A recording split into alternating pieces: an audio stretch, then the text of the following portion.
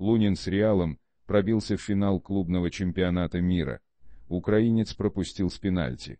Разгромной победой мадридского Реала завершился матч 1-2 финала клубного чемпионата мира против каирского Аляхли. Об этом сообщает РБК Украина со ссылкой на результат поединка. Клубный чемпионат мира, 1-2 финала. Аляхли Реал 1-4. Голы. Маалул, 65, пенальти, Винисиус, 42, Вальверде, 46, Родриго, 90 плюс 2, Арибас, 90 плюс 8. Нереализованный пенальти, Модрич, 87, Р. В стартовые 20 минут полуфиналисты успели обменяться моментами.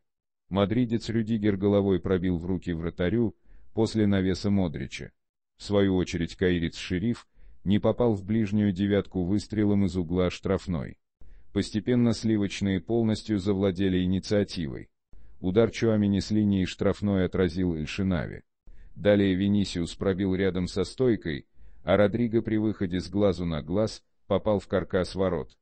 Аляхли ответил моментом Эль-Шахата, но Лунин парировал удар Хавбека. В конце концов Реал забил по мячу перед перерывом и сразу после него.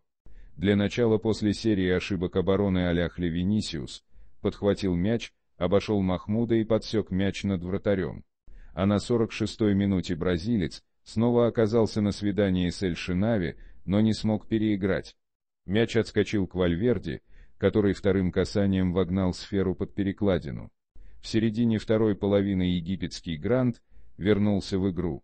Камавинга снова не успел в линии обороны и свалил против Эль-Шахата пенальти. К отметке подошел Маалул и уверенно развел мяч, и Лунина по разным углам.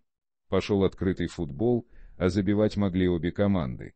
В частности, Аляхли организовал серию угловых в районе 80-й минуты. После одного из них украинский кипер Реала в падении спас, сливочных после удара Мохаммеда головой в ближнюю девятку.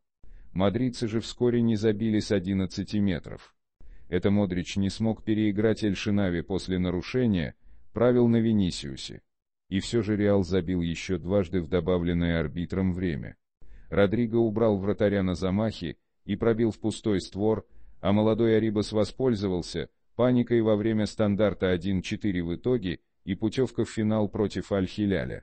К слову, ранее подвели итоги зимнего трансферного окна 2023 года в Европе.